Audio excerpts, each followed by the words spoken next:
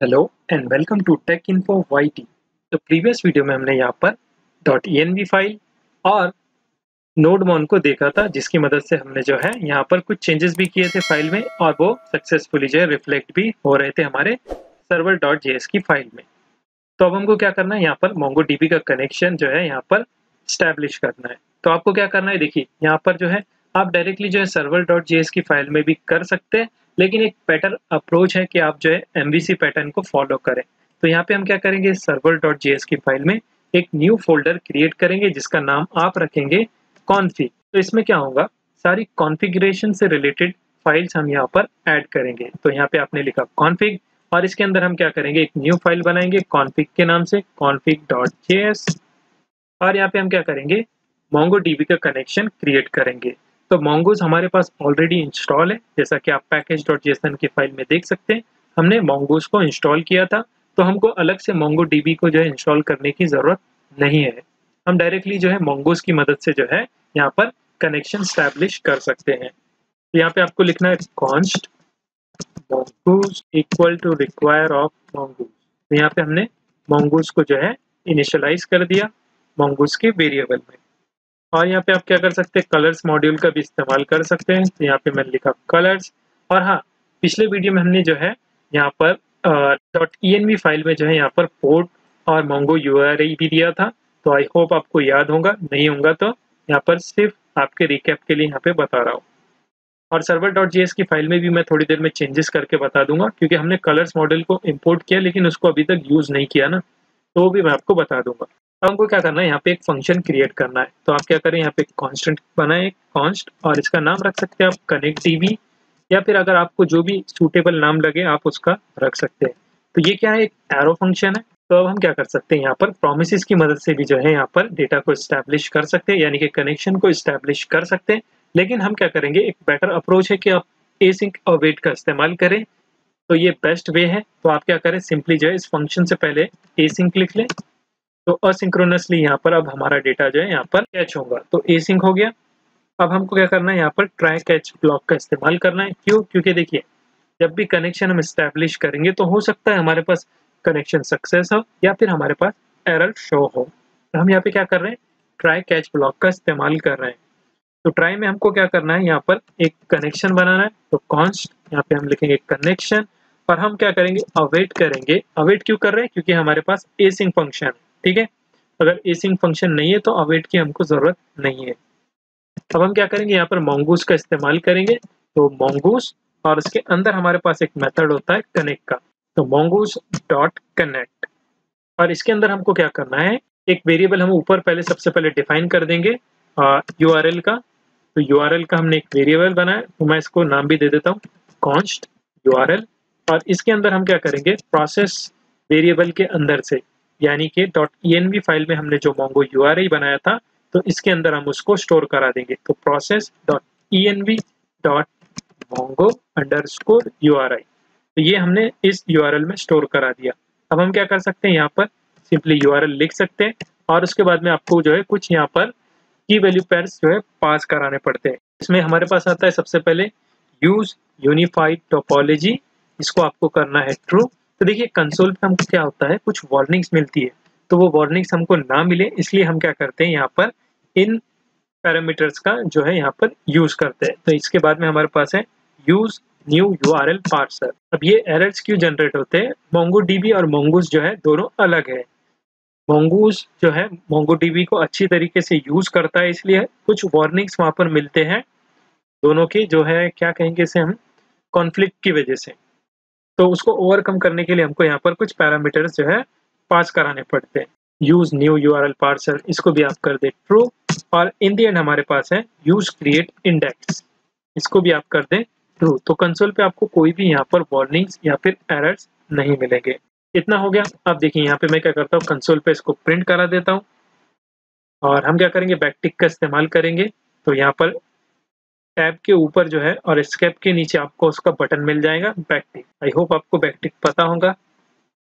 तो इसमें हम क्या करेंगे, यहाँ पर इसको प्रिंट करा देंगे। तो क्या प्रिंट कराते हैं? हम यहाँ पे एक मैसेज प्रिंट करा देंगे। मोंगो डीबी डेटाबेस कनेक्टेड और साथ ही में हम क्या करेंगे, यहाँ पे डॉट का इस्तेमाल करेंगे।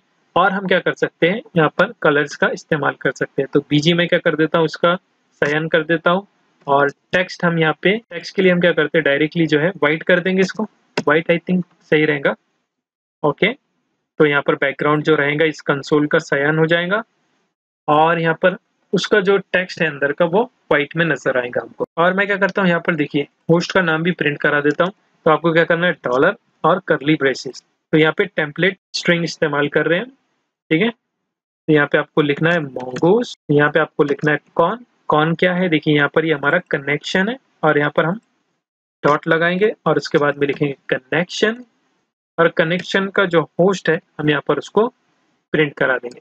और ये कनेक्शन है कनेक्शन डॉट होस्ट ये हो गया। अब देखिए सेकंड केसेस में हमारे पास क्या है? एरर हमको मिल सकता है। तो हम क्या करेंगे? यहाँ पे सिंपली जो है कंसोल पे इसको प्रिंट करा देंगे। तो यहाँ पे भी बैकटिक का इस्तेमाल करेंगे हम। और यहाँ पे हम क्या करेंगे? एरर और उसके बाद में टेम्पलेट स्ट्रिंग तो यहाँ पे हम क्या करेंगे? प्रिंट करा देंगे एरर ये एरर है हमारे पास, और उसके अंदर हमको मिलता है मैसेज ये हम उसको प्रिंट करा देंगे, और यहाँ पर हम क्या कर देंगे? इस कंसोल को जो है रेड कर देंगे. या फिर मैं क्या करता हूँ? इसको जो है बीजी रेड कर देता हूँ. आई थिंक बीजी रेड सही रहेगा. बीजी रेड और अंदर का टेक्स्ट जो रहेगा, वो वाइट कर देंगे. इतना लिख के आप क्या करें? इसको सेव कर लें. सेव करने के बाद आपको क्या करना है? अब जाना है सर्वर डॉट की फ़ाइल और सबसे पहले आपको क्या करना है, इस कॉन्फिग फ़ाइल को ऊपर इंपोर्ट करना है। तो हम क्या करेंगे, यहाँ पर कॉन्स्ट और इसका नाम रखेंगे connect DB is equals to यहाँ पे रिक्वायर करेंगे।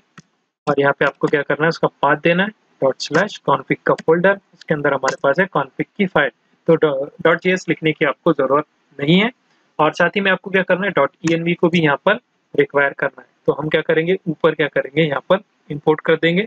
Const dot E N V is equals to require of dot E N V ये डॉट ई एन बी भी जो है, यहाँ पर इंपोर्ट हो चुका है। अब हमको क्या करना है? सबसे पहले देखिए, यहाँ पर इस मॉर्गन के बाद में जो है कॉन्फिक करना है डॉट ई एन वी को पहले। तो डॉट ई एन वी को कॉन्फिक करेंगे। यहाँ पे आपको लिखना है dot E N V dot config और इसके बाद में ही जो है हम यहाँ पर कनेक्शन स्टैब्लिश कर सकते हैं।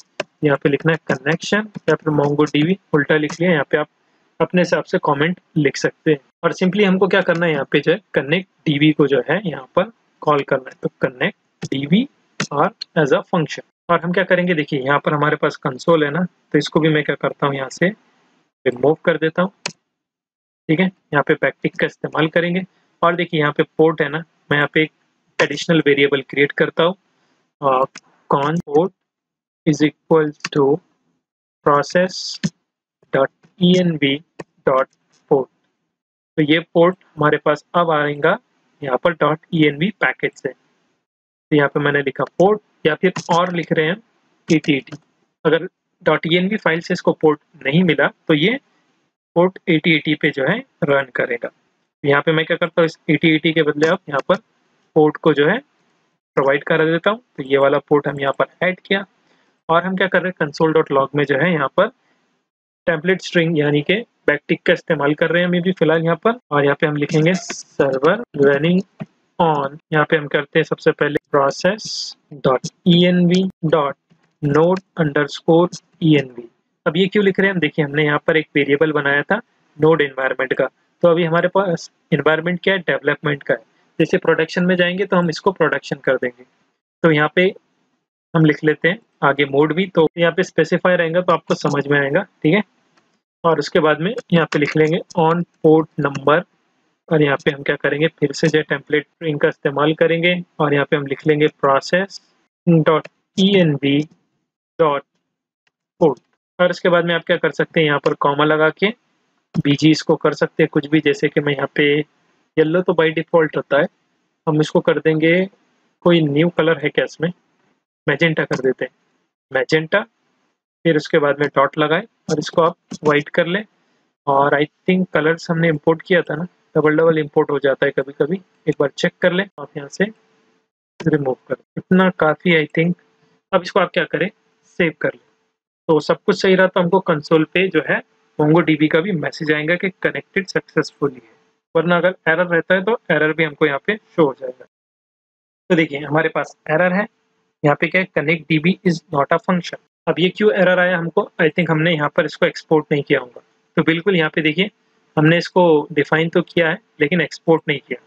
तो हम क्या करते हैं? नीचे इसको एक्सपोर्ट कर देते हैं। Module dot export make sure spelling का आप खास ध्यान रखें और फ़ंक्शन का नाम जो कि है कनेक्ट डीबी इतना लिख के आप सेव कर लें। तो देखिए तो देखिए, हमारे पास एक और एरर है यहाँ पर बीजी मेजेंटा डॉट वाई तो आई थिंक यहाँ पे हम ओके तो हमने यहाँ पे क्या किया? कॉलन दे दिया कॉमा दे दिया यहाँ पे तो कॉमा नहीं, आपको क्या करना है यहाँ पे? डॉट देना है तो डॉट यहाँ पर रहेगा तो dot BG magenta dot white और इतना लिख के आप सेव कर लें। सब कुछ सही रहा तो हमको जो है यहाँ पर कलर्स मिल जाएँगे। तो देखिए सक्सेसफुली यहाँ पर आ रहा है। Server running on development mode on port eighty मैं ऊपर कर दूँ क्या थोड़ा? और यहाँ पर देखिए मोंगो डीबी डेटाबेस कनेक्टेड और हमारे क्लस्टर का यहाँ पे आ रहा है ना अगर लोकल होता तो यहाँ पे हमारे पास रहता लोकल होस्ट क्योंकि अभी हमारे पास एटलास कनेक्टेड है तो यहाँ पे हमारे पास जो है क्लाउड का जो है क्लस्टर यहाँ पर शो कर रहा है।